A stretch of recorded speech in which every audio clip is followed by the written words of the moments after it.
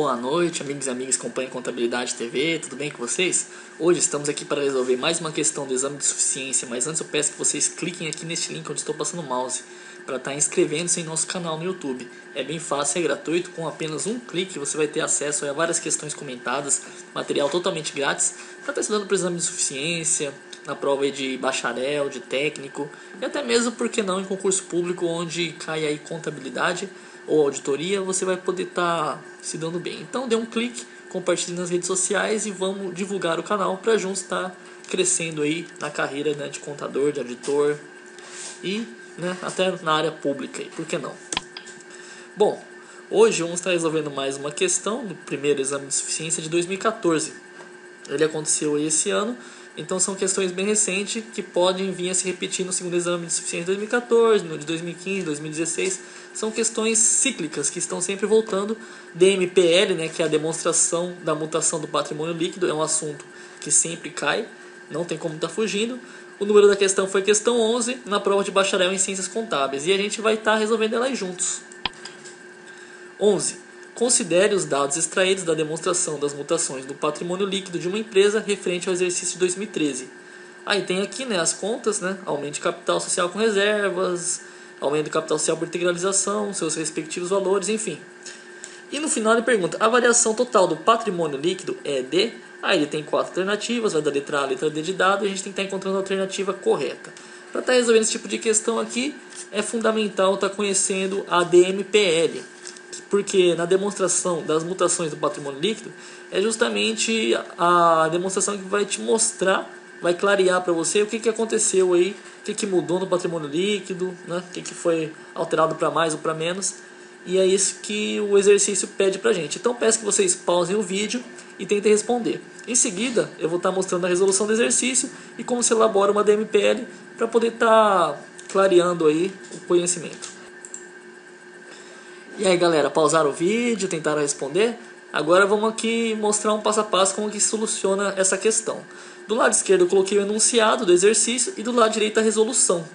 Para facilitar a resolução e para que encontremos a variação do patrimônio líquido, que é o que o exercício pergunta para a gente, a gente vai elaborar uma DMPL. E é o que foi feito aqui. A DMPL ela funciona como? Ela tem aqui do lado esquerdo as contas, né? saldo inicial, reversões, lucro do período, as suas destinações, dividendos, né? Aqui nessa coluna onde estou passando o mouse, descendo em sentido vertical, e na horizontal ele aparece as contas: capital social, reserva de capital, reserva de lucros, lucros prejuízo acumulado. E aqui nessa última coluna da direita descendo, a gente vai ter as nossas variações do patrimônio líquido. O que a gente vai fazer então? A gente vai estar tá extraindo as informações do exercício e encaixando na nossa DMPL. E você vai seguir a ordem aqui, né? Por exemplo, aqui, ó. Primeiro fato que acontece é o aumento de capital com reservas no valor de R$ 45.500. Então você vai vir aqui né, na conta reserva de capital, onde estou passando o mouse, vai descer, né, você vai colocar aqui menos 45.500 porque você está tirando está tirando aqui das suas reservas e passando aqui para a conta capital social, né, no valor de 45.400. Então você vê que é uma conta que já estava no PL, que é a reserva de capital, e passou para a conta capital social. Sendo assim, não alterou o seu patrimônio líquido, o valor foi zero ele não alterou, porque são contas que já estavam lá dentro do patrimônio líquido. A gente conhece isso como fato permutativo. Uma permuta, apenas mudou de lugar dentro do patrimônio líquido, então não teve variação assim no seu PL. Continuou a mesma coisa, apenas mudou de lugar dentro do PL.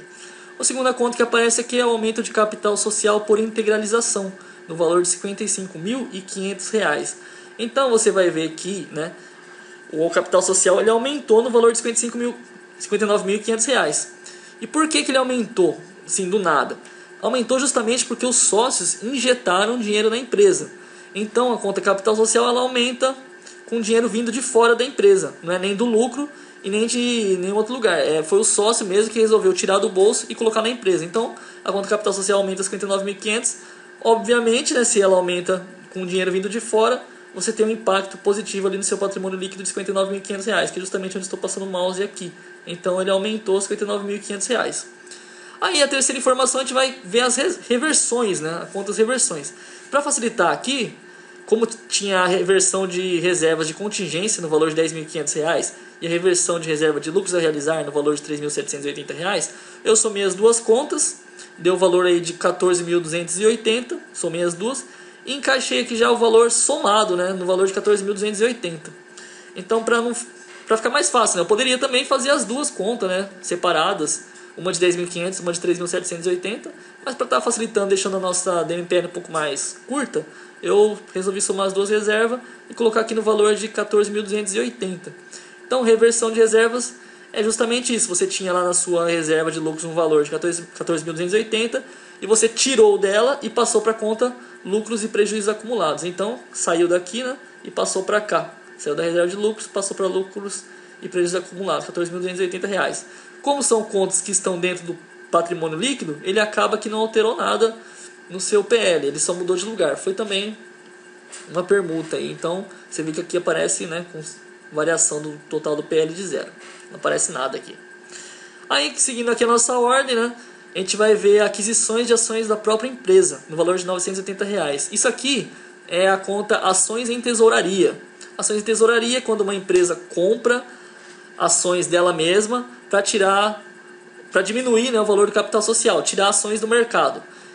Sendo assim, é uma conta redutora do patrimônio líquido. Então, ela comprou dela mesma 980 reais, diminuiu o patrimônio líquido, tendo um impacto negativo de 980 reais aqui no PL. Por isso que ele aparece negativo entre parênteses aqui no valor de 980 reais. Para quem não sabe, na contabilidade a gente quando usa o valor positivo a gente escreve normal, né? E quando usa o valor negativo a gente coloca entre parênteses. Né? Você pode fazer também em casa que sinal negativo, mas termo contábil mesmo é entre parênteses que a gente usa.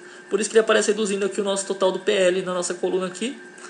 Seguindo a nossa ordem, a gente vai ver o lucro líquido do exercício no valor de 49 mil reais. Né? O que aconteceu aqui? Foi justamente que no lucro do período, você vir na conta lucro do período, e ela aumenta em 49 mil reais. Se você teve um lucro de 49 mil reais, obviamente você tem um impacto positivo no total do seu patrimônio líquido de 49 mil reais. Por isso que a gente copiou aqui esses 49 mil reais. Né? Ele representa aí o lucro do período. E agora aqui em verde né, é a proposta de administração de destinação do lucro. São as transferências para a reserva. Aí também para facilitar, né, como tem três reservas, a reserva legal no valor de 2.450, a reserva estatutária de 18.025 e a reserva de lucros a realizar de 525, eu somei tudo, deu o valor de 21 mil reais e para deixar a, D, a DMPL mais enxuta, eu peguei esse valor de 21 mil reais que representa as três reservas e já joguei aqui direto nas destinações da reserva. Né? Sendo assim, ele, ele tinha ali uma reserva de lucro de 21 mil reais, ele absorve aquele prejuízo né, de 21 mil reais e tem um impacto negativo de zero. Negativo não, perdão, tem um impacto de zero, não acontece nada. Né? É uma permuta aqui também no seu patrimônio líquido não acontece nada. E a última conta, para finalizar nossa DMPL, é essa conta de distribuição de dividendos obrigatório. Dividendos obrigatório, é, você vai estar tá vendo aqui que eu, é, de R$ 42.280 ela parece com sinal negativo porque dividendos é uma conta que vai lá para o passivo circulante, é uma conta que a empresa tem obrigação aí de estar tá pagando para os acionistas. E de onde que saiu esses dividendos? Saiu parte da reserva de lucros no valor de R$ 14.280 e outra parte saiu de lucros prejuízos acumulados no valor de 28 mil reais, dando um total de 42.280 reais. Você pode até somar aqui, né, tirar a prova real, 14.280 reais de dividendos vai sair da reserva de lucros, mais né, 28 mil reais que vai sair de lucros prejuízos acumulados, vai dar um total ali de 42.280 reais, que é justamente o valor que equivale aos dividendos obrigatórios. Por isso que ele aparece sinal negativo aqui, porque ele vai lá para passivo circulante, afinal a empresa tem que pagar essa essa conta aí para os sócios, acionistas, né? Para os acionistas anônimos. Agora, como é que você vai saber o que, que o exercício pergunta? É a resposta final, né? A variação total do patrimônio líquido é de. Como que a gente vai saber? A gente vai estar olhando apenas essa coluna aqui, né? Que afeta o patrimônio líquido. Que é essa coluna aqui da direita. A gente vai pegar aqui, ó. O saldo inicial era zero. Depois teve um lucro do período de 49 mil reais. 49 mil reais. Aqui onde estou passando o mouse. Daí as destinações, né? ficou em zero. Os dividendos saiu menos R$ 42.280, então você teve que pagar R$ 42.280, você diminui aqui. Né? Meu mouse está um pouco ruim. É, realização de reserva de lucros não aconteceu nada. Aumento do capital social do sócio, eles colocaram mais R$ 59.500, eles tiraram do bolso e colocaram na empresa. E ações de tesouraria, você vai diminuir R$ 980, dando um total ali de R$ 65.240 positivo. Portanto, aí gabarito letra D de dado, né, R$ 65.240 positivo. Essa é a variação total do patrimônio líquido. Espero que tenha ficado bem claro aí a questão. Se ficou alguma dúvida, mande um e-mail para contabilidade TV ou hotmail.com, vou ter maior prazer em respondê-las. Peço que refaçam o exercício, né? Tentem elaborar aqui esse DMPL, né? Eu aconselharia vocês assim, copiar no caderno, né? Tire esses valores aqui que eu escrevi e tenta encaixar os valores na sua DMPL. Tenta uma, duas, três vezes. Vai chegar uma hora que você vai ficar automático, né? Você vai saber para onde que vai cada conta aqui na nossa DMPL e você vai resolver aí de uma maneira tranquila e objetiva. E por último aí, né, eu quero agradecer a Roseli Simões. Ela está sempre acompanhando o canal, mandando dicas e sugestões. Aquele abração aí para você. Para todo mundo que acompanha o canal também, né? Aquele abraço, tudo de bom e falar um pouco aí sobre as apostilas em PDF que a gente elaborou para poder estar tá ajudando você, concurseiro, você que está estudando para exame de suficiência, para estar tá se dando bem aí na prova. É, tem ali o curso de contabilidade em 10 módulos com 890 páginas, várias questões, teoria, questões comentadas do exame de suficiência de concurso público para você estar tá podendo aprender e treinar em casa. O curso de contabilidade de custo, 5 módulos com 294 páginas. E o curso de auditoria em 9 módulos com 536 páginas. Lembrando que essas matérias aí, né, a contabilidade geral, curso de auditoria é a que tem maior peso no exame de suficiência. Provavelmente, se você estiver dominando essas três aí, você consegue passar tranquilamente aí pela prova do exame de suficiência. Lembrando também que eu estou usando esse material, essas apostilas, para estar tá fazendo o curso gratuito de contabilidade aqui no YouTube. E se você tiver material em mãos, fica mais fácil estar tá acompanhando o curso. Vou deixar o link de uma aula demonstrativa totalmente grátis. Você pode estar tá acessando aqui na descrição do, do vídeo. É bem fácil. Você clica lá, se você gostar, aí você compra. Se você não gostar, aí não tem problema, né? Apenas acompanhe o canal e veja os vídeos. O valor, qual que é o valor? Se você quiser apenas a apostila de contabilidade é 20 reais. Se você quiser apenas o pacote 2, que é a apostila de auditoria, sai 20 reais também. O pacote 3, que é somente custo, sai 20 reais. E se você quiser tudo, para poder ficar bom mesmo, aí você compra tudo por 50 reais. Além de dar uma força para o canal, você vai poder estar tá agregando conhecimento para você. Como comprar? Você vai estar mandando um e-mail para contabilidadetv.hotmail.com e solicitar o seu pacote. O segundo passo, você receberá as instruções para poder fazer o depósito no banco. E o terceiro passo, ao depositar, estará recebendo as apostilas por e-mail. Vou estar enviando para você por e-mail. Você imprime ou você lê no seu tablet, no seu computador, no seu celular. Ali no ônibus, ali você está meio à toa, né? Aquela viagem ali de uma hora no ônibus, pegando aquele trânsito de São Paulo. Você vai lá e dá uma lida na apostila, né? 10 minutos por dia que você lê, com certeza você vai estar melhorando aí né, do seu conhecimento. E muito obrigado. Novamente peço que vocês cliquem neste link para estar inscrevendo no nosso canal no YouTube. Compartilhe, divulgue no Facebook, nas redes sociais. Deus abençoe. Né? Tem que manter a fé para poder, para poder progredir na carreira, nos estudos, na profissão. E é isso. Aquele abraço. Até o próximo vídeo. Fui!